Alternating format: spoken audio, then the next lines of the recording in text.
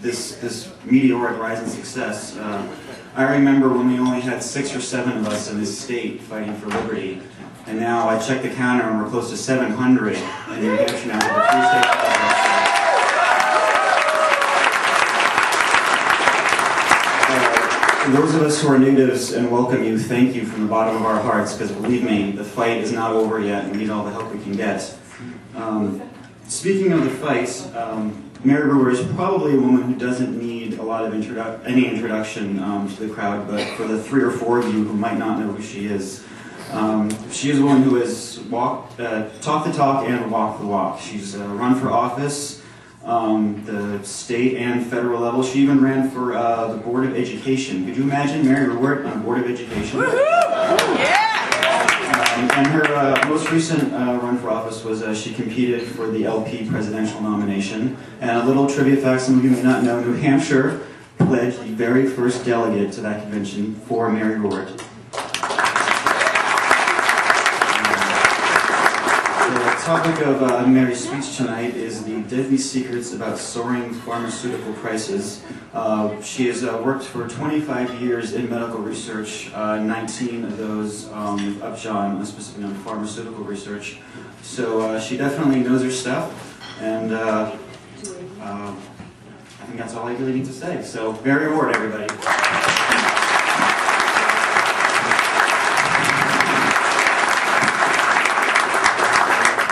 Well, thank you. I have to tell you, I was very surprised by this award. They kept it a total secret from me until they announced my name. I wasn't.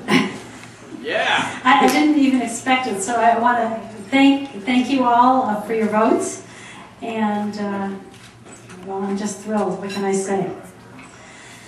So today, my topic, of course, is deadly secrets behind soaring pharmaceutical prices. But everything I'm going to say about pharmaceutical prices applies to the entire medical sector. It's just that we can we can see it a little more clearly with pharmaceuticals. So if I can have the first slide, I'm going to talk to you about what what it is I'm going to say today.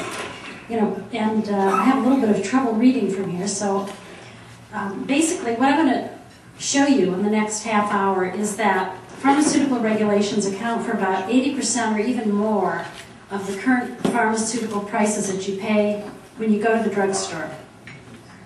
Uh, these regulations, although they were passed to make drugs safer, have actually made them less safe. And um, they have really slashed innovation. This is probably one of their biggest biggest problems, in addition to slashing prevention, which we'll talk about a little later. And there's been a number of other things too. You know, basically about 20% of the U.S. population uh, that have died since 1962 when these regulations were passed were probably adversely affected. Their lives were shortened by these regulations.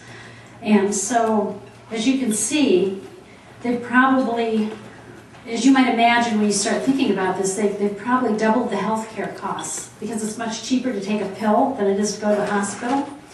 And they've really made healthcare rationing a necessity. We'll, we'll talk a little more about that later on.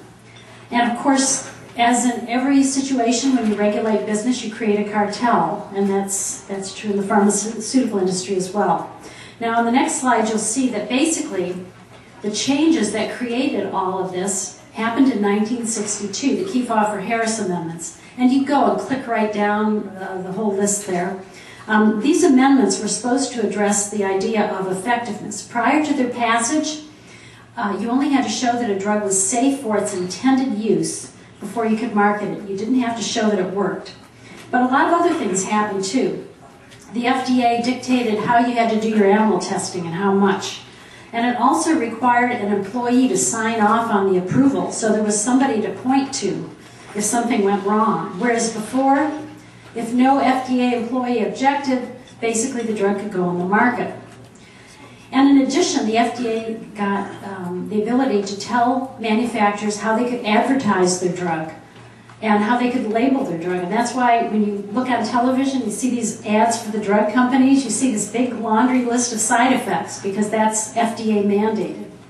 And finally, um, FDA had oversight of manufacturing. Before, before these laws were passed, basically unless somebody lied about what they put in it, the FDA couldn't do anything. One of the first things the FDA did when these laws were passed is they put 50% of the manufacturers out of business for manufacturer violations, which simply meant not that the drug was uh, not there or not in the right amount, but the FDA didn't like the way manufacturers documented their process. Now, one of the interesting things about this whole thing, as you can see in the next slide, is this emphasis on effectiveness, which is how most people actually know about the Kefauver-Harris amendments. But your drug effectiveness is very difficult. I mean, does it have to be effective in everyone to be considered effective, or most of the time, or sometimes? And is it effective on its own, or do you have to compare it with placebo? In the next slide, you'll see uh, um, this little um, cartoon. It's, it's a fake. Um, I see you can't see the top. It says FDA approved sale of prescription placebo. now, this is a fake drug ad, okay? This is something that The Onion in Austin put together, and you can actually find it on their website. But it looks just like a regular drug ad. And let's see if my my laser pointer that doesn't really isn't really laser works here. I want you to look at this ad. You see, it's for sucrosa. Sucrose is the name for sugar. And notice the tagline: "It will work." And that's what placebos do. They work. That's why we run placebo-controlled trials because you can give people a sugar pill and some of them will respond favorably. So there's really no such thing as a drug that isn't effective, and there's no such thing as false hope. Because the placebo effect is a real effect. We just don't understand it, so we don't talk about it much.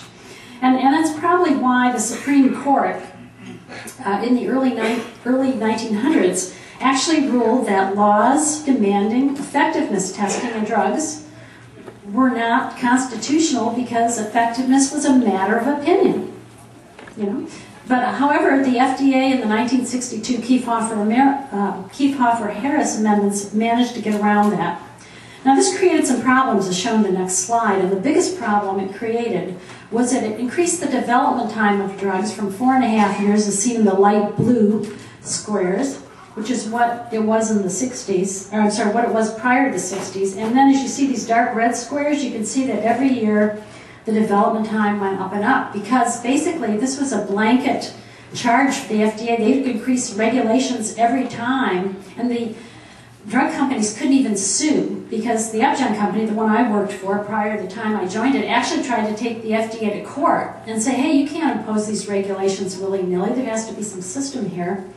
And they used uh, one of their drugs as an example, but the courts ruled that the FDA did have the power to impose these regulations and the drug companies would have no recourse.